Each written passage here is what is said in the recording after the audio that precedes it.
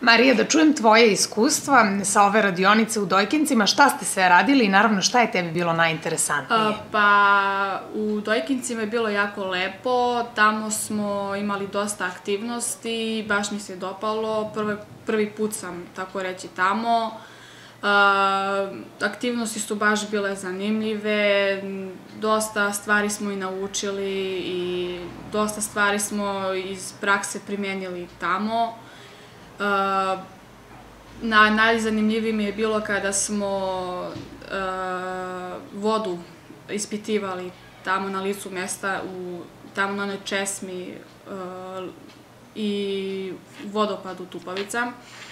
I bilo mi isto najzanimljivije kada smo radili sa biljkama, kada smo ih brali. Reci mi, uh, da li bi znala sada, recimo, sama da ispitaš ispravnost vode? Pa, Mogla bi, ali bi trebalo da se uh, naba, nabave u stvari ta neka... Kada bi naravno imala, da, imala da, svu aparaturu, da, da li bi mogla sama?